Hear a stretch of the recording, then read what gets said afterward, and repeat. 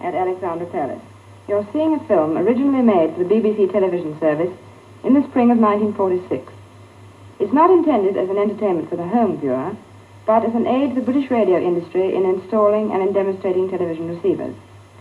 You radio men who will be seeing it day by day throughout the year will soon anticipate each pictorial change and will know the music and dialogue by heart. To you, we would say that we shall modify it from time to time, and that the stock press items should always prove interesting. To those of you who are seeing television for the first time, and who are therefore the people for whom this film is primarily intended, we'd like to sound a note of caution.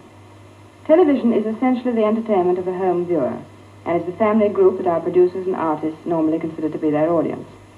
And so if this, your first introduction to television, is not by your own fireside, do believe me when I say that you'll enjoy it so much more when you meet us once again in the intimacy of your home, when you're sitting relaxed in your own armchair. Few viewers, either present or pre-war, have had the opportunity of seeing the machinery by which a television program is transmitted. Let us therefore trace the radio signals which bring this picture and sound to you, over the roofs of North London, back to their source at Alexandra Palace. Let us catch a brief glimpse of the transmitter halls, the control rooms, and the studios, and see what television can do and how it does it. Here in the Vision Transmitter Hall, power from the electric mains is converted into the radio frequency power which forms the carrier wave that brings this picture to you.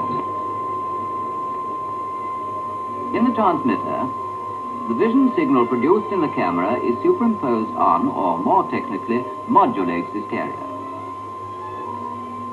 This is how the vision transmitter engineer sees and checks that modulation. And this is how the sound transmitter engineer listens to and checks the high quality sound for which television programs are noted. Right, stand by. This, the central control room, is the traffic regulator, so to speak, through which all programs are routed on their way to the transmitters. Let's follow the trail back to Studio A, through its associated control room, the control gallery, where the producer and senior studio engineer direct and control the production,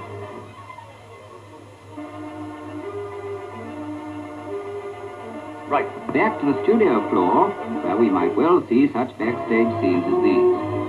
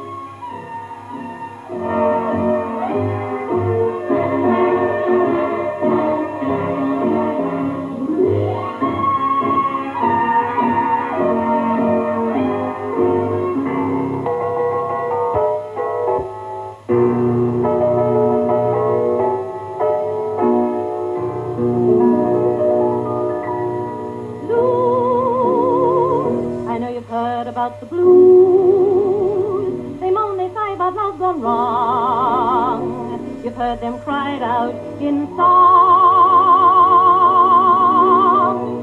I hate to see that evening sun go down. I hate to see that evening sun go down.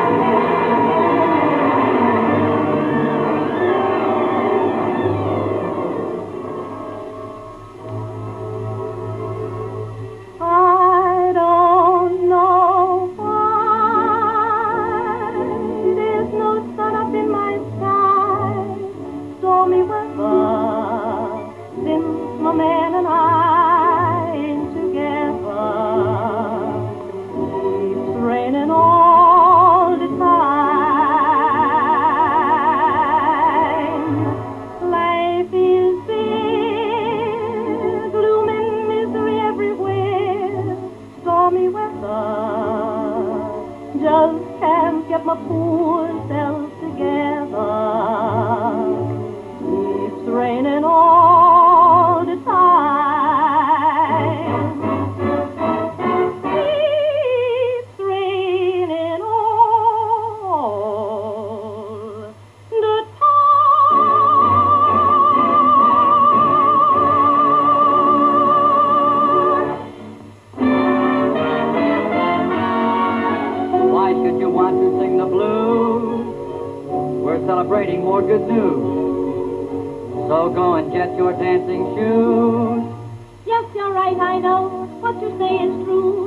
The sandstorm go in a blaze of blue. Make the music hot, for at last I found it's rhythm. Rhythm. Rhythm makes the world go round. Some folks like to hear eight-beat rhythm. I don't go for that stuff no more. Anytime you really want to send me, bounce me, brother, with a solid four. Come on in, the whole place is jumping. Everybody's out on the floor. If you want to keep the rhythm pumping, bounce me, brother, with a solid four. The boogie woogie was never like this. We got a new beat that no one can miss. If Boogie Woogie sent you like I think it did, go to the bar, we'll shake your lid. Move the tables and roll the rug up. Shut the windows and lock the door. While I try to dig the little brown jug up, bounce me, brother, with a solid four.